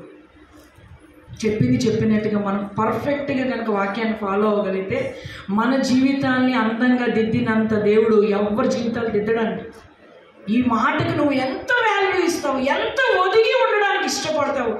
ఎంతగానో ప్రభు పాదాల దగ్గర గడపడానికి ఇష్టపడతావు? శక్తి కొలది భేద విధవరాలు రెండే క్లాసులు వేసిందంట. జీవనమంతయు అన్నాడు. అంటే రెండు క్లాసులకి జీవితం ఇచ్చినట్ట. ఇచ్చినట్ట. అంటే దానికి మీనింగ్ అర్థం ఏంటి? హార్ట్ఫుల్గా ఉన్నది రేపటికి ఆలోచించకుండా ముందు కానిపెట్లు వేసి వెళ్ళిపోయింది. అందరూ వేసి ఆఫరింగ్స్ చూస్తూ ఉన్నారు. షాపింగ్కి వెళ్ళేటప్పుడు ఎట్లా తీసుకెళ్తారు? మినిమం ఒక వెయ్యో రెండు వేలు? చర్చికి వెళ్తా నా బైబిల్ యాభై రూపాయలు పెట్టాను. ఉందా? ఉండే ఉంటుందిలే. పోయిన వారం పెట్టాను. ఒక పది రూపాయలు? ఆ, ఉండే ఉంటుందిలే. ఎందుకు అంత శ్రద్ధ? ఇది దీవించి పడేస్తారు అక్కడికి వెళ్ళి ఖర్చు పెట్టుకునే స్థలానికేమో వేలు వేలు పెట్టుకొని వెళ్తాం. దీవెన తీసుకొని వెళ్ళే స్థలానికి? యాభై అని నేను అన్నాను. మరి పదండి పరుగుపోద్దాను పది సంవత్సరాలైన అదే పది వేసేవాళ్ళు కూడా. గోల్డ్ మంది కొంతమంది కా- కాన్సెప్ట్ ఎట్లుంటుందంటే సేవకులకు పెడుతున్నట్టు ఫీలింగ్ ఉంటుంది. అందుకే పది రొట్టెలే తీసుకెళ్ళమన్నాడు. లేలుయ్యా ఎవరికి పెడుతున్నట్టు? నువ్వు ఎవరికి ఇస్తున్నట్టు? నువ్వు ఇస్తే ఎవరికి ఇస్తున్నట్టు? దేవుడు చూస్తాడు కదా. మీరు ఎక్కడ తీసుకొస్తారు? మందిరం నిధిలోకి తీసుకొస్తారు. ఇది ఎవరి స్థలం తేజో మహిమ దిగి వచ్చే స్థలం అంటే మందిరం అంటే. ఇక్కడికి తీసుకొని వచ్చిన ప్రతి దాని మీద ప్రతి దాని మీద దేవునికి అందృష్టి ఉంటది. హల్లెలూయా! నువ్వు విత్తి వెళ్ళిపోతావేమో కానీ విత్తింది వెలకట్టి గుప్పిలి విప్పి నీకు ఇచ్చేదాకా ఆయన మనశ్శాంతం ఉంది హల్లెలూయా! ఇచ్చేయాలి ఎందుకంటే రుణం ఉంచుకునే దేవుడు కాదు. గిన్నెడు చన్నీళ్ళకైనా ప్రతిఫలం ఇచ్చేది. అయితే నేను ఏం చెప్తున్నానంటే ఈరోజు వాక్యం నుంచి మనం ఏం నేర్చుకోవాలంటే అలాగ మౌనంగా వచ్చి వెళ్ళిపోతే మనకి ఏమి ఉపయోగం ఏమి లేదు. మన కుటుంబాలు మనల్ని మనం ప్రొటెక్ట్ చేసుకునే రోజుల్లోకి మనం వచ్చేసామండి. హల్లెలూయా. మొన్న ఒక పాపది చింతపల్లి గురించి న్యూస్ వచ్చింది కదా యూట్యూబ్లో. వచ్చినప్పుడు ఆ యాంకర్ ఒక మాట చెప్పింది. నాకు చాలా మంచిగా అనిపించింది. ఏంటంటే రెప్ప పాటలు తీసుకొని వెళ్ళిపోతుంది చిరుత. అంటే అక్కడ ఉన్న యానిమల్స్ ఏమన్నట్టు రెప్ప పాటలు తీసుకొని వెళ్ళిపోతాయి అంట. అపవాది? అపవాదికి ఎంత టైం కావాలి? ప్యాషన్ ఆఫ్ ది సెకండ్స్లో తీసుకొని వెళ్ళిపోతాడు వాడు. అంటే మనకు కూడా ఏ భయం ఉండాలి? మన కుటుంబాల విషయంలో మనకు కూడా ఆ భయం కలిగి ఉండాలి. దీవించే దేవుడు ఉన్నాడు. కాపాడే దేవుడు ఒక పక్కన ఉన్నా ఇంకో కోణం మనకి ఏది ఉండాలంటే వీడు కూడా వెంటాడుతున్నాడు. శత్రువు అనేవాడు కూడా మనకి ఉన్నాడు అనుకోవాలి. మరి ఎరోబాము దాసుడే కదా. దాసుడుగా ఉన్నంతసేపు అంట సొలోమనికి ఎదురు ఎదురు తిరిగాడంట. ఇంత వెండి పని అన్న విషయంలో ఎదురు తిరిగి బయటికి వెళ్ళిపోతున్న వ్యక్తిని అయ్యా ప్రవక్త వచ్చి అయ్యా నువ్వు ఇస్రాయలీలకు రాజుగా ఉండాలి. ఈ ఉత్తర రాజ్యానికి నువ్వు రాజుగా ఉండాలని చెప్పి అభిషేకిస్తే ఆ స్థితిగతులన్నీ మర్చిపోయి ఈయనేం చేశాడంట సొంత పెత్తనాలన్నీ రాజరికంలో? ఆరంభించేశాడంట. హల్లెలూయ. మన ఇష్టాలు మనం కలుపుకోకూడదు మన జీవితంలో. ఒకసారి ప్రభు చేతులకు మన జీవితం అప్పగించిన తర్వాత ఆయన ఇష్టానికి మనల్ని మనం మౌల్డ్ చేసేసుకోవాలంటే ఆయనకి నచ్చినట్టుగా మలుచుకోవడానికి ఇష్టపడాలి. ఏది చెప్తే మనం అదే చెయ్యాలి. హల్లెలూయా. హలేలుయా భక్తి కూడా ఎలా అవుతుందంటే ఏ వేషం వేసుకొని వెళ్ళిందంట? చెప్పండి అందరూ. మారవేషం అంటే? లోకం బాగా చెప్తుంది క్రైస్తవుల గురించి. పేరుకు వస్తారు కానీ మీరు ఇంటికి రావాలండి వీళ్ళ సంగతి ఏంటో తెలుస్తుంది. మరి పాస్టర్ గారు ఇంటి దగ్గర ఎలా ఉంటారో తెలియదుగా ఎక్కడ తెలుస్తుంది? మందిరంలో ఎలా ఉంటారో మంచిగా తెరచేరు కట్టుకొని కొంగేసుకొని వినయ విధేయతలుగా తలంచుకొని వంద వందనాలు అండి. బైబిల్ పట్టుకొని వస్తే అంత మంచోళ్ళే అనుకుంటారు. ఇంటికి వెళ్ళాక వేరే క్యారెక్టర్ ఉంటుంది. రామ్ ధూమ్ దడలు ఎత్తేయడం విసిరేయడం. హల్లెలూయా. దీన్ని ఏమంటారు అప్పుడు? ఏమంటారు? మీ భాషలో మీ భాషలో ఏమంటారు? చెప్పండి. వేషధారణ హల్లెలూయా. అంతేనా కదా? అట్లాంటి వారికి ఏమన్నా మిగులుతుందా లాస్ట్కి? ఈరోజు మనం నేర్చుకున్న వాటిలో ఏమన్నా మిగిలింది ఆ స్త్రీకి? ఏమి మిగలదు. హల్లెలూయా. ఎందుకు ఇలా ఉండండి అలా ఉండండి సేవకులు చెప్తారండి. మీరు అలా ఉంటే మాకు కలిసి వచ్చేది ఉందా? కలిసి వచ్చేది ఉందా అండి? పద్దాగా నాకే చెప్తానండి వంకర్లు ఎక్కువ ఉన్నాయి కాబట్టి శుద్ధ దెబ్బలు ఎక్కువ. పడతాయి సొట్టలు తీయాలంటే ఏదేమో ఉండాలి ఇప్పుడు మాటలు వేస్తున్నారా లేదా కానీ అప్పుడు సొట్టలు పడి బిందులకు కూడా సొట్టలు తీపించి వాడేవాళ్ళు మళ్ళీ. అవునా కదా అండి? అది ఏ దెబ్బలు పడితే అటువంటి వస్తువులకి శుద్ధి దెబ్బలు ఎక్కువ పడితే ఏ వాక్యం విన్నా నాకే అనిపిస్తుంది. కానీ నాకే అనిపిస్తుంది కానీ అనుభవించుకోవడానికి ఇష్టం అనిపించింది ఎందుకంటే నన్నే టార్గెట్ చేస్తారండి పద్దాక? టార్గెట్ చేయడంగా దేవుడు కోరుకుంటున్నాడేమో. కొద్దిగా నువ్వు సెట్ అయితే నీకు ఏదో ఇవ్వాలని ఆయన ఆశపడుతున్నాడేమో. నీ కుటుంబానికి ఏదో శాశ్వత కృప ఇంతవరకు ఎదురు చూస్తున్నాడేమో. హల్లెలూయా. ఎరోబాం అనుకున్నాడంటే ఈ రాజ్యాన్ని నేను శాశ్వతంగా దేవుడే తనకి ఇచ్చేద్దాం అనుకుంటే ఒకవేళ పోతుంది అనే ఆలోచన ఎందుకు వచ్చింది అసలు? వచ్చినా నువ్వు ఎవరిని సంప్రదించాలి? సేవకుల దగ్గరికి వెళ్ళాలి కదా. హల్లెలూయా. అసలు భార్య అని అనాలి కదండి. మనం ఏదో ఈ రాజ్యంలో చిన్న పని చేసుకొని బతికే వాళ్ళం అండి. దేవుడు ప్రేమించి ఇంత కృపించాడు మీరు ఇలాంటి పని చేయడం తప్పు కదండి? అనాలి కదండి అంటారు కొంతమంది. మా సంఘంలో ఒక విశ్వాసం ఉండేది. మేము వెళ్ళిన కొత్తలో. అలా ఆయన బాగా బయట పంచాయతీలు వేసేవాడు అనమాట సెటిల్మెంట్లు అవి ఉంటాయి కదా. ఈవిడికి వాక్యం అయిన తర్వాత ఏమవుతుందంటే ఆ నాయన అట్లా పంపించడం ఇష్టం అనిపించలేదు ఎందుకంటే ఆ పంచాయతీకి వెళ్ళినప్పుడు అన్యాయం సొమ్ము? ఖచ్చితంగా ఉంటుంది. ఇంకోటి అది ఎక్కడ న్యాయమో ఎవరికి న్యాయమో తెలియదు కదా.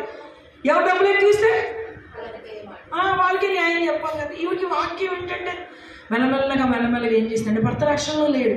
కానీ విన్న వాక్యాన్ని బట్టి దయచేసి నువ్వు ఆ పంచాయతీలకి లేదు ఆ సొమ్ము మనకి దీమైంది కాదు మన కష్టార్జితం ఏదో మనం పని చేసుకొని బతుకుదాం దేవుడు మనకి ఇచ్చిందే చాలు అని కొద్ది రోజుల్లో తన భర్తని అట్నుంచి డైవర్ట్ చేసుకోగలిగింది. హలేలుయా హలేలుయా ఎందుకని ఆ సొమ్ము మన ఇంట్లో ఉంటే మనకి దీవెన కాదు అని అర్థమైంది. అలాగే వాక్యంలో నుంచి కొన్ని మనకి దేవుడు మాట్లాడుతున్నప్పుడు మనం మౌనంగా పట్టి పట్టినట్టుగా ఏదో అటెండెన్స్ కోసం వచ్చి వెళ్ళిపోయినట్టుగా వచ్చి వెళ్ళిపోతే ఉపయోగం లేదండి. బల ప్రభావం కలిగిన ప్రభుని ఆరాధిస్తున్నాం కదా. మన పరిస్థితులన్నీ బాగాలేకే ఒంటరిగా ఉన్నాం అనాథలుగా ఉన్నాం దిక్కులేని వారమనే కదా. అందులో వదిలేయకుండా ఇందులోకి తీసుకొచ్చాడు మనల్ని. హలిలుయా తీసుకుని వచ్చిన తర్వాత కడుపు నిండిన వారిగా ఉండకూడదు కానీ ఏం చేయాలంటే కాపాడుకునే వారంగా ఉండాలి. హల్లెలూయా. నిన్ను బట్టి నీ ఇంటికి ఏం కలిగింది అన్నాడు జక్కయ్యతోటి ఏసయ్య. రక్షణ. మరి మనల్ని బట్టి మన ఇంటికి రక్షణ ఉందా? క్షేమం ఉందా? ఆరోగ్యం ఉందా? నెమ్మది ఉందా? కృప దొరుకుతుందా? కనికరం దొరుకుతుంది? ఎవరిని బట్టి ఇవన్నీ? నేను అంత బాగానే ఉన్నాను కదండి. వాళ్ళిద్దరు చేయబట్టే ఇంట్లో పిల్లలు భర్త చేయబట్టి ఇన్ని సమస్యలు. అయినా కూడా ఆప్షన్ ఉందంట మనకి. ఏంటిది అది సాష్టాంగపడి ప్రార్థన చేసి. ఏమని ప్రార్థన చేయంట ఆయన చూసుకో ప్రభా ఎంత చెప్పినా వినట్లేదు. ఒకసారి నువ్వు చూసుకో అనగా ఆ దోషము చాలామంది తెలియదు. ఏం చేస్తాడు? ఆయన అక్కడే పడుకొని ఉంటాడు. కాలు ఇరిగిపోయినాడు తలకాయ పగిలిపోయి ఇట్లా ప్రార్థన చేస్తారు. ఇక్కడ మోకలేసి ఈతల.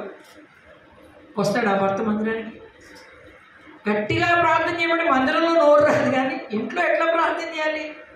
మారని వారు ఉంటే మౌనంగా ప్రార్థన చేస్తారు. దేవుడికి వినపడితే చాలు కదా. వాళ్ళు ఏమనుకుంటారు? అసలు ప్రార్థన ఇంకా చేస్తారేమో అనుకుంటారు.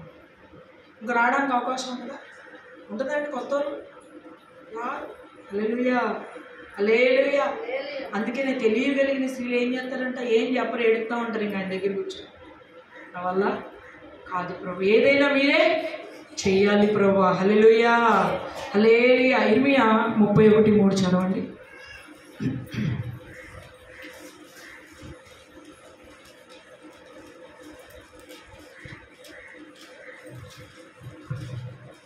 చాలా కాలము క్రిందట యహోవా నాకు ప్రత్యక్షమై ఇట్లా నేను శాశ్వతమైన ప్రేమతో నేను నిన్ను ప్రేమించుచున్నాను. కనుక విడవక నీడల కృప చూపుచున్నాను చాలండి. హల్లెలూయా. ఏ ప్రేమ అంటే దేవుని ప్రేమ? చెప్పండి. శాశ్వతం అంటే శాశ్వతం అంటే అర్థం? శాశ్వతం అంటే? దావీతోటి అన్నాడు దేవుడు ఏమన్నాడంటే నీ కుమారుడికి నేను తండ్రిని ఉంటాను. శాశ్వతమైన కృప నేను. అంటే తరతరాలు రాజరికంలో ఖచ్చితంగా మీరంటూ ఉంటారు అని ఒక నిబంధన దావితో దేవుడు చేస్తాడు కదా. శాశ్వతమైన కృప అంటే మధ్యలో విడిచిపెట్టి పోయేది కాదు. అందులోనే కృప ఉందంట ప్రేమ ఉందంట. హలలుయ ఇప్పుడు శాశ్వతమైన కృప ప్రేమ మన కుటుంబాలకు దేవుడు ఇస్తానన్నప్పుడు పొందుకోకపోవడానికి గల మనమే ఆయన ఆల్రెడీ వాగ్దానం చేసేసాడు మనం శాశ్వతమైన కృపిస్తాను ప్రేమిస్తాను. అయితే మీరేం చేయాలి? మీరేం చేయాలి అంటే అభిగైలాగా అడ్డుపడాలి. హలెలుయా హలేలుయా కొద్దిగా మనం ఆత్మీయతలు ఎరిగి ఎదిగిన వారమైతే వాక్యం అర్థం చేసుకొని ప్రార్థన చేయడం వస్తే మనం ఏం చేయాలంటే మన ఇంటి వారందరి రక్షణ వారి క్షేమము ఆ సంతతి మీద తరతరాలు ప్ర కృప నిలిచి ఉండేటట్టుగా దేవుడు ఎలాగో వాగ్దానం చేశాడు కాబట్టి ఈ వాగ్దానం ప్రభు పాదాల దగ్గర పెట్టి అయ్యా వారు ఏది తెలిసి చేసినా తెలియక చేసినా ఆ దోషము నాదని నాదని నాదని ఎంచి కనికరించి నా కుటుంబానికి కృప దయచేయండి ప్రభువా అని చెప్పి మనం ఏం చేయాలంట? ప్రార్థన చేయాలంట. కొంతమంది అంటే నేను ఎంత చేసినా వాళ్ళు అట్లా చేయబట్టే సరైన దీవెన నేను చూడలేకపోతానండి కాదు కాదు రాంగ్. నిన్ను బట్టి ఇప్పుడు ఎవరిని బట్టి ఇంటికి కృప దొరికింది? నా వాళ్ళని బట్టి అబీగాయిని బట్టి. అబీగాయిని బట్టి. అంటే నువ్వు కృప తీసుకొని వెళ్ళే అవకాశం దేవుడు నీకు ఇచ్చాడు. వందనానికి వచ్చామంటే వచ్చిన ప్రతిసారి మనం ఏం తీసుకొని వెళ్ళాలి? కృప తీసుకొని వెళ్ళాలి. ఆ కానుకంట దావీది అంగీకరించాడంట. చూడండి. మొదటి సమూహలు ఇరవై ఐదు ముప్పై నాలుగు నీవు త్వరపడి నన్ను ఎదుర్కొనకపోయిన ఎడల. నీకు హాని చేయకుండా నన్ను ఆటంకపరిచిన ఇజ్రాయేలీల దేవుడైన యెహోవా జీవము తోడు తెల్లవారులోగా నాబాలునకు మగవాడొక్కడును విడువబడ విడువబడనన్న మాట నిశ్చయం నిశ్చయము అని చెప్పి. తన యొద్దకు ఆమె తెచ్చిన వాటిని ఆమె చేత తీసుకొని నీ మాటలు నేను ఆలకించి నీ మనవి నన్ను అంగీకరించి తిని సమాధానముగా నీ ఇంటికి పొమ్మని ఆమెతో చెప్పాను. హల్లెలూయా. ఈమె కానుక అంగీకరించబడినట్టు రాయ రాయబడింది. ఈమె సంతతికి కృప దొరికినట్టుగా రాయబడింది. కానీ ఆ ఎరోబాబు వారికి ఆ కుటుంబానికి ఏం దొరకలా? కృప దొరికిందా? ఆ కానుక అంగీకరించగా వచ్చినట్టుగానే వెళ్ళిపోయింది. ఏమి తీసుకొని వెళ్ళలేదు. హల్లెలూయా. ఈరోజు వచ్చి అలాగే వెళ్ళిపోతే మనకి ఏమి దొరుకుతుందా? ఏం దొరకదు. ఒక కిరాణా షాప్కి వెళ్ళినట్టే. ఒక షాపింగ్ మాల్కి వెళ్ళొచ్చినట్టే. ఆడికి వెళ్ళొస్తే ఏం దొరుకుతుంది మనకి? ఏం దొరకదు. పోవడం రావడమే. ఏదో మన తృప్తి కోసం. అలాగే అదే మనసుతో మందిరానికి వచ్చినా కూడా ఏం? పోవాలి కదా. వాళ్ళు ఏమైనా అంటారేమో అడుగుతారేమో అన్న మనసుతోనే వస్తే అది ఎన్ని సంవత్సరాలైనా ఏం దొరకదు. కానీ ఏ మనసుతో రావాలంట? దేవుని సరికి ఏ మనసుతో రావాలి?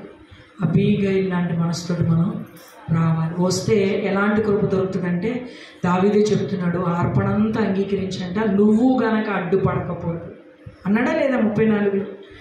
త్వరపడి నన్ను ఎదుర్కొన పోయిన ఎడల నీకు హాని చేయకుండా నన్ను ఆటంకపరిచిన ఇస్రాయేలీల దేవుడని యెహోవా జీవము తోడు తెల్లవారులోగా నా పాలనకు మగవాడు ఒకడును విడవబడనన్న మాట నిశ్చయము. హల్లెలూయా. అసలు నిన్ను ఎవరు పంపించారు? నా దేవుడే నిన్ను పంపించాడు. హలేలుయా హలేలుయా అయితే ఇప్పుడు మనం ఎవరికి అడ్డుపడాలి? మాట వినని వారికి మనం అడ్డుపడాలి. అడ్డుపడాలి. ప్రతి ఒక్కరి కుటుంబంలో ఏదో ఒక సమస్య. కుటుంబం అంతా రక్షణ రక్షించబడి చక్కని ఆత్మీయతలు ఎదుగుతున్న దేవుడికి ఇంకా మయంకరంగా జీవించాలి. ఒకవేళ భర్త అయినా పిల్లలైనా ఒకవేళ కొన్ని సంవత్సరాల నుంచి వేధిస్తున్న సమస్య అయినా అది మనల్ని విడిచిపెట్టి వెళ్ళిపోవాలి. ఒక ఉన్నతమైన కృపచేత సంతోషం చేత మన కుటుంబాలు నింపబడాలంటే వెంటనే మనం చేయాల్సింది ఏంటంటే ఎదుర్కోవాలి. ఎవరిని ఎదుర్కోవాలి? ప్రభువుని ఎదుర్కోవాలి. హలో ప్రభు ఈ కాడు చాలా బరువుగా ఉందయ్యా లేకపోతే నా వల్ల కావట్లేదు ప్రభు. ఆ జీవం కలిగిన మాటలు విన్నప్పుడు నా గుండెలు పగులుతున్నాయి. కానీ ఇంటికి వచ్చేటప్పటికి నా సమస్య నన్ను పిండేస్తుంది. నా స్వభావానికి వేరుగా మాట్లాడేటట్టుగా చేస్తుంది ప్రభు. ఈ కాడిని నా మీద నుంచి తీసివేవా ప్రభు. నా కుటుంబంలో చక్కని సమాధానం ఏ ప్రభు. ఒకవేళ ఏ దోషం నా కుటుంబం మీద ఏలుబడి చేస్తున్నా అభిగైలాగా ఈ రోజు నేను అడ్డుపడుతున్నానయ్యా. ఈ వీటన్నిటి నుంచి నాకు విడుదల నువ్వు విడిపించే దేవుడు కదా. శాశ్వతమైన కృప చూపే దేవుడు కదా. కనికరంతో నింపబడిన దేవుడు కదా ప్రభా. నన్ను దా అని నువ్వు సాగిన పడగలిగితే సాష్టాంగ పడగలిగితే నీకు తోచిన అర్పణలు నువ్వు ప్రభుకి ఇచ్చి హృదయ అర్పణంతో నీ ప్రభుని నువ్వు గణపరచగలిగితే ఆయన దాటిపోయే దేవుడు కాదండి. హలలుయా నేనంటాను దేవుని సన్నిధికి వచ్చిన ప్రతిసారి ఒక నూతనత్వాన్ని పొందుకొని వెళ్ళాలి ఒక ఉన్నతమైన కృపతో కూడిన వాగ్దానాలు తీసుకొని వెళ్ళాలి. అద్భుతమైన మార్పులు మన ఇంట్లో చూడటం మనము ఆరంభించాలి. అదే సమస్యతో అదే సమస్యతో అలాగే అలాగే అలాగే అలాగే జీవితాలు పెట్టుకుని మన పరిష్కారం ఉంది మందిరంలో. ఎక్కడుంది మన పరిష్కారం? మందిరంలో పరిష్కారం ఉంది. అయితే నువ్వేం చేయాలి? నువ్వు మీడియట్ నువ్వు మధ్యలో నిలబడాలి. నువ్వేది వేధిస్తుంది సముద్రంలో కంట ఎర్ర సముద్రంలోకి వీరితోనే ఆ సమస్య కూడా వచ్చింది. ఎవరు? ఫరో వచ్చాడు. సమస్య నీతోనే నడుస్తుంది. కానీ నువ్వేం చేయాలంటే ఆ సమస్య నీ మీద పడకుండా దేవుడు చేస్తాడు. నువ్వు కూడా అభిగేలాగా ఇప్పుడు ఆ సమస్య వీళ్ళ మీదకి రాకుండా దేవుడు చేశాడా లేదు? అనుకున్నాడంట ఫరం అనుకున్నాడంట. ఇంక ముంచేద్దాం వీళ్ళని. కత్తి దూద్దాం. ఇంకా అసలు ఎవ్వరు లేకుండా దొరికారు నాకు సముద్రం ఎడిపోతారు ఎడిపోలేరు కదా? అనుకుంటే దేవుడు అన్నాడు వాళ్ళని చూడడం కాదు ఇవాళ నుంచి వాళ్ళకి శత్రువు లేకుండా చేద్దామని అసలు నీ కోసం ఈ డోర్స్ ఓపెన్ చేశాను. రా నువ్వు ముందు లోపల అన్నాడు. హల్పియా ఆ రోజు నుంచి ఇస్రాయలీలకి శత్రువులే లేకుండా అయిపోయారు. అంటే శత్రు శేషం లేకుండా చేయాలని దేవుడు వెయిటింగ్లోనే ఉన్నాడు. మనం ఏం చేయాలంటే ఆ భారాన్ని తీసుకెళ్ళి ఆయన చేతులకి అప్పచెప్పాలి. మౌనంగా వచ్చి వెళ్తే ఏం మిగిలింది ఆ స్త్రీకి? ఏమన్నా మిగిలిందా? ఆ చదివితే ఆశ్చర్యం అనిపిస్తుంది. మీరు ఇంటికి వెళ్ళినా చదివి ఎందుకు మాట్లాడలేదు? అక్కడ మాట్లాడలేదు ఇక్కడ చావు వార్త చెప్పిన కొడుకు చచ్చిపోతాడని చెప్పిన ఎంత కఠినాత్మురాలు అనుకోవాలా? తెలియలేదని ఎంత తెలియలేని వాళ్ళని మాట్లాడరా? మాట్లాడతారా లేదండి? హల్లెలూయా హల్లెలూయా నువ్వు ఏది మాట్లాడినా వింటాడు ఆయన. కన్నీటితో ప్రార్థన చేసినా కరిగిపోతాడు. హల్లెలూయా హల్లెలూయా. ఎప్పుడైతే మనం క్రీస్తులోకి బ్యాప్టిజం తీసుకుంటామో ఆ రోజు మన కాడిని తీసేయడానికి సిద్ధంగా ఉన్నాడు? రాను రాను రాను రాను ఏమవ్వాలంటే నువ్వు నీ ఇంటికి దీపం అయిపోవాలి. హల్లెలూయా నువ్వు నీ ఇంటికి వెలుగు అయిపోవాలి. ఏ సమస్య నిన్ను ఏలుబడి చేయాలి నువ్వే సమస్యని ఏలుబడి చేయాలి. హల్లెలూయా. అట్టి కృపలోకి రావాలంటే నువ్వు కృంగిపోకూడదు అలానే మౌనం కూడా అయిపోకూడదు. ఏం చేయాలి? భక్తి. ప- పౌలు గారు చెప్పినట్టుగా సాధన చేయాలి. మోకాళ్ళకి పని ఎక్కువ చెప్పాలి. ప్రార్థన అనుభవాన్ని పెంచుకోవాలి. ఏది ఉన్నా తెచ్చి సేవకులకి చెప్పాలి పంచుకోవాలి ఒక సలహా తీసుకోవాలి. అదే అదే అదే అదే సంవత్సరం అలాగే నలిగి నలిగి నలిగి నలిగి నలిగిపోకూడదు నేను అన్నాను కదా ఒక సహోదరి ఏం చెప్పింది? చేయాల్సింది ఏం చేయలేదు కానీ యోబు లాంటి ఏ సమస్యలు అంట? యోగు లాంటి సమస్యలు వచ్చినాయి ఎంత చక్కగా పోల్చుకుంటారు అంటే కప్పేసుకోవడమే. అది తప్పని ఇప్పటికీ ఇప్పటికీ అర్థం కాదు. అంత ఉన్నతమైన స్థితిలోంచి ఈరోజు ఈ ఈ పరిస్థితిలోకి వచ్చామంటే దానికి కారణం నేనేనా? నన్ను ఆశీర్వాదం నేనేనా ఆపుకున్నానని నా సహోదరికి? అర్థం కావట్లేదు మళ్ళీ ఎవరితో పోల్చుకుంటుంది? కష్టాలు ఎక్కువ ఉన్నాయి ఆయన ఒక ఆయన దొరికిండు బైబిల్లో. మాట్లాడితే ఆయన పేరు చెప్పేసుకోవడం ఎవరు?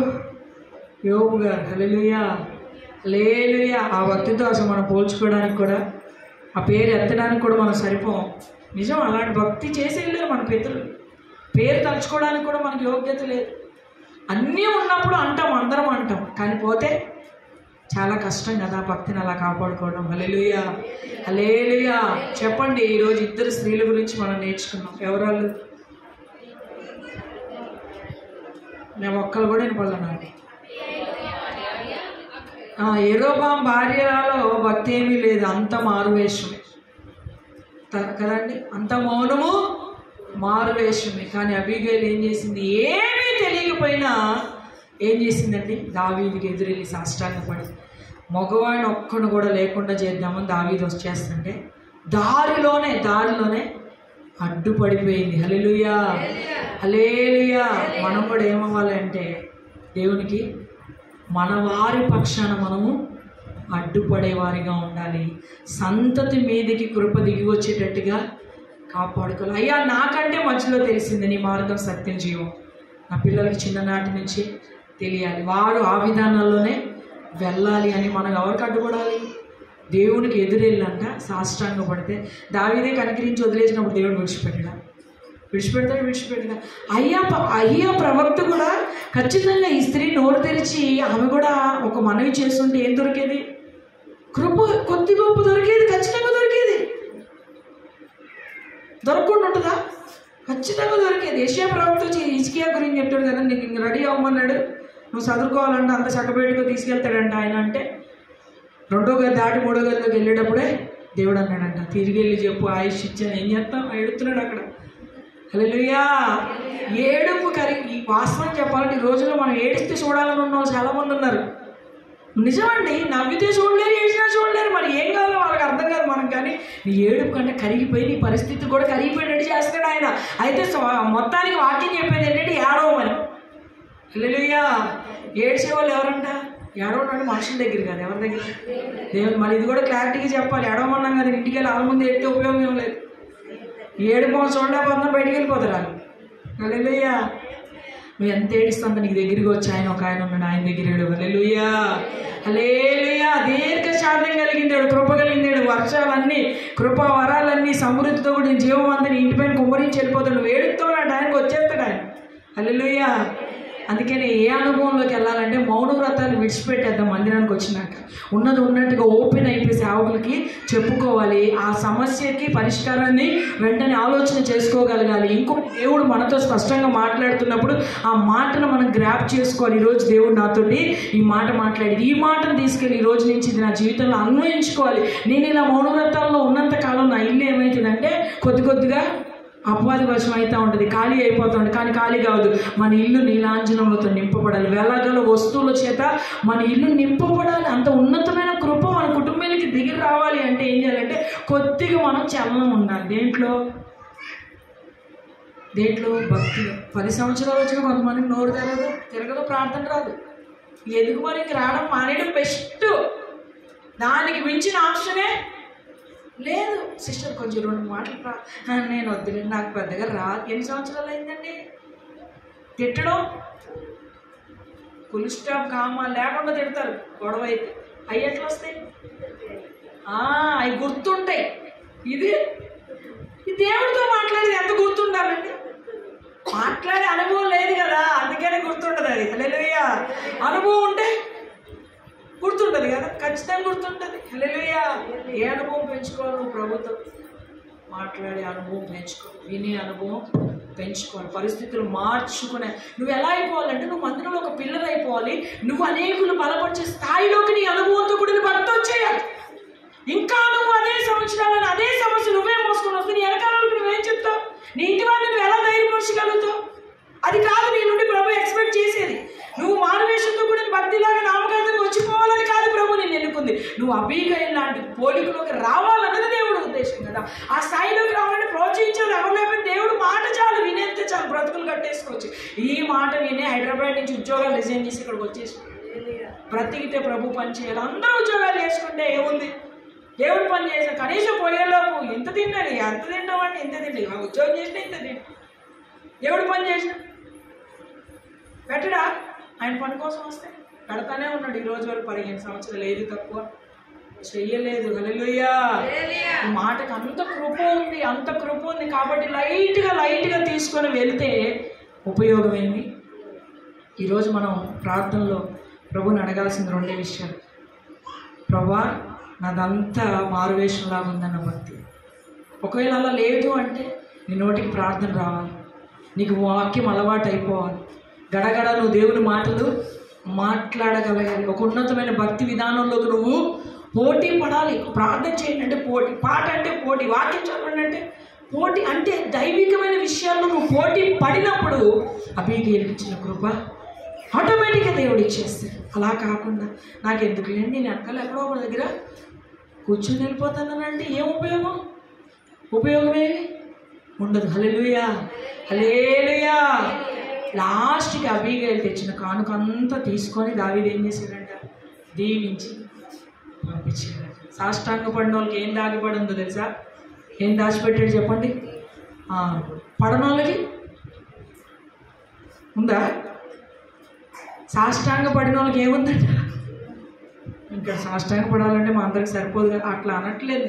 అంటే ఆ మనస్సుతో అంత తగ్గింపుతో ప్రభు దగ్గర మనం ప్రార్థన చేయగలిగితే వెంటనే దీవించి దావి దీవించి పంపించాడండి. దేవుడు దీవించడానికి. దీవిస్తే దీవించాడు? దావికి చేయన్నా చిన్న చెయ్యి. దేవుడు చెయ్యి. ఎంత ఉంటుంది? ఒకసారి ఊహించుకోండి. ఆకాశం సింహాసనం భూమి పాదపేట వాడు చెయ్యి ఎంత ఉంటుందండి? ఏ ఆర్కి ఏమంటారు? ఎవరు కూడా దాన్ని గీయలేరు. చెయ్యని హల్లుయా చాలా పెద్ద చెయ్యి. ఆ చెయ్యి ఒక్కసారి. అందుకే దక్షిణ హస్తం సాహస కార్యాలు చేస్తాం అలెలుయ దేవుని హస్తం సాహస కార్యాలు చేసేస్తుంది అలెలుయ ఇది ఎలా ఉండాలంటే వేషధారణతో కూడిన భక్తి ఇది. ఉండకూడదు. కొద్ది గొప్ప ఉన్నా అది మనకేమి లాభము తీసుకొని రాదు. ఎలా ఉండాలి అంటే విషయం మన చెవిని పడగానే వాక్యం ద్వారా ప్రభు మాట్లాడగానే నువ్వేం చేయాలంటే ఆ విషయంలో వెంటనే ప్రభు తట్టు తిరిగి ఈ కృప నాకు కావాలి ఈరోజు ప్రభా. దీన్ని నా స్వతంత్రం మాకు కూడా కొన్ని వాగ్దానాలు చదివినప్పుడు అనిపిస్తాయి ప్రభా ఇది నేను గ్రాప్ చేసుకుంటున్నా. ఇది నేను క్లెయిమ్ చేసుకుంటున్నా. ఈ వాగ్దానం నా జీవితంలో నెరవేర్చబడాలి. మా పరిచయంలో ఈ వాగ్దానం నెరవేర్చబడాలని. అది చదివిన వెంటనే అలా అనుకుంటే ఏమవుతుందంటే అది మన జీవితంలో కార్యరూపం దాల్చేటట్టుగా ప్రభు చేస్తుంది. హలేలుయా హలేలుయా అందుకనే ఈరోజు నేర్చుకున్న రెండు విషయాలు ప్రభు పాదసన్నిధిలో పెట్టి ఒక చిన్న తీర్మానం తీసుకొని ప్రార్థన చేసుకుందాం.